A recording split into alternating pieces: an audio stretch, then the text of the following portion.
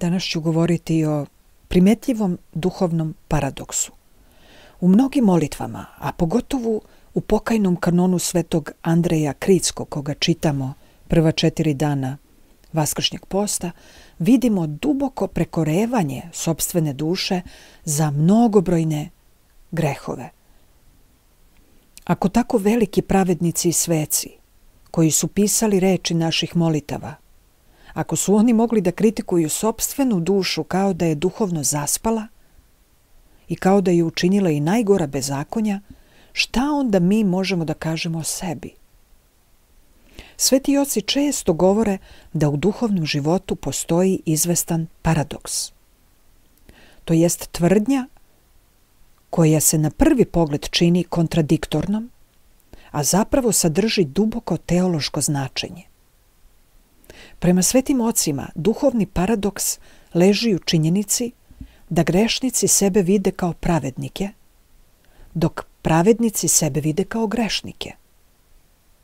Zašto je ovo? Zašto grešnik sebe vidi kao pravednika? Zato što on ne poznaje sebe, dok pravednik svu svoju duhovnu moć usmerava na spoznaju sebe. I čak smo i u prehrišćanskoj antici čuli frazu spoznaj samog sebe koja je pripisana ili Sokratu ili nekom drugom paganskom misliocu. A za nas hrišćane je veoma važno da spoznamo ko smo. To jest da spoznamo da imamo palu prirodu i da je spoznamo da bismo uvideli koliko nam je Hristos potreban na svakom koraku. I zato se tokom celog velikog posta molimo da, gospode i care, daj mi da vidim svoje mane, svoje grehove.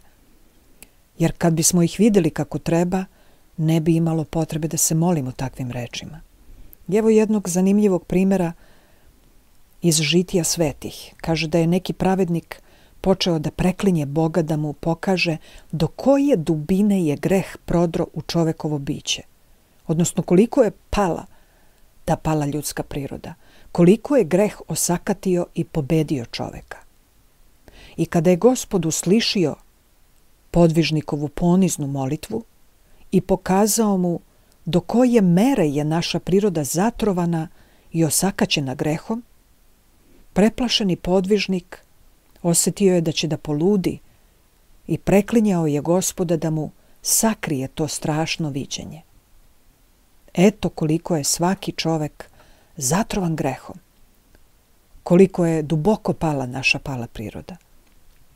Evo šta piše mitropolit Filaret Voznesenski, veliki duhovnik, veliki episkop Ruske zagranične crkve. Što se dublje zadire u sebe, što se više navikava da se sagledava svoj unutrašnji svet, to čovek jasnije i bolnije osjeća unutrašnju štetu koju je naneo greh. U svojim molitvama pred sveto pričešće Sveti Vasilije Veliki, Sveti Jovan Zlatoust i njima slični svetitelji sebe su nazivali najgorim grešnicima, nedostojnim da gledaju u nebeske visine. I ovo nije bila nikakva fraza, niti preuveličavanje. Zaista su videli sebe upravo onakvim kao što su zapisali u molitvama koje i mi danas čitamo. A mi se pitamo iz kog razloga da čitam takve molitve kad ja nisam baš takva.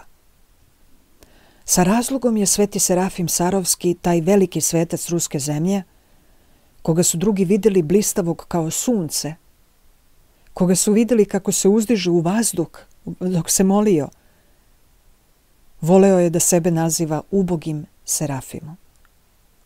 Jer pravednik se zaista osjeća grešnikom. Ali kako je to moguće, pitaš se. Evo kako. Ako u nekoj prostoriji postoji prljava krpa, ali u prostoriji nema svetla, prljavština na krpi se ne vidi. Ako svetlost uđe u prostoriju, prljavština odmah postaje primetna. Što je više svetla, jasnije će biti vidljiva prljavština. Dakle, što se sveti više približavaju Bogu, to jasnije vide svoju grešnost. Kada se neko istinski približi Bogu, njegova savest se osvetli, Njen glas postaje čist i zvuči kao zvono. Zvuči kao prekor za svako odstupanje od Boga, za svaki slučaj nevernosti njemu, bilo mislima, rečima, delima. A što se tiče grešnika, on ne poznaje niti sebe, niti svoju dušu. I kada ide na ispovest, čini mu se da i nije tako loš. Kada čuje za velike grešnike, on, kao i mnogi njemu slični, pomisli, pa ja barem nisam takav. Ne smatram se pravednikom, nisam svetac, ali ipak nisam toliko loš. Svakako imam ljudi koji su mnogo gori od mene. Međutim, nijedan istinski pravednik, onaj koji se seća samo svojih grehova, ne tuđih, koji uvek ima žaljenje za druge ljude, nijedan, dakle, istinski pravednik ne bi ni dopustio da i najmanje samoopravdanje uđe u njegovu dušu. Ali tako nije u duši nas, obični grešnika. Mi uvek samo opravdavamo sebe. Sada smo ušli u period pokajničkog razmišljanja i molitve. Pomolimo se da i nama grešnima Gospod zaista podari da vidimo svoje prestupe, a ne tuđe. Uvek primećujemo tuđe grehove, tuđe nedostatke, tuđe greške. A često ne primećujemo svoje. Pa čak i ako ih primetimo, nemamo problema da ih opravdavamo i uvek nalazimo razlog da sebe opravdamo. Zato se iskreno molimo da nam Gospod podari da vidimo svoje prestupe i grehove. Jer bez tog duhovnog vida ne može biti pravog pokajanja. A bez pokajanja u nas se ne može useliti ni tračak blagodatne Božije sile Duha Svetoga. Eto vidite koliko je to veliko, koliko je to značajno. Videti koliko je pala naša pala priroda, koliko smo mi grešni koliki je mrak u nama. Jer to nije zbog moralizma, da bismo bili moralni, već da bismo bili u pokajničkom stanju, u drugačijem načinu razmišljanja, u približavanju Bogu. To je pokajanje. Stalno približavanje Bogu. Dakle, ako